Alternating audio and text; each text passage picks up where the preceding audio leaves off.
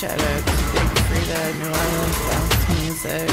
Uh, every bitch track ever made for New York City drag balls in the 90s before RuPaul made being gay uncool. Gay, ugly, and hard to understand.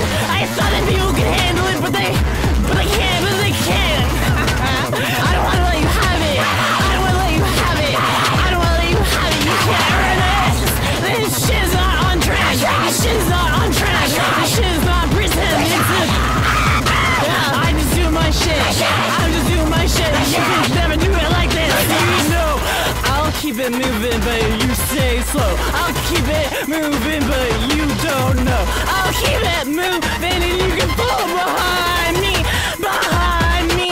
Off my old CD, you could copy a track, sell it to Roadrunner, make your money back. It's the corniest shit. Put Travis Barker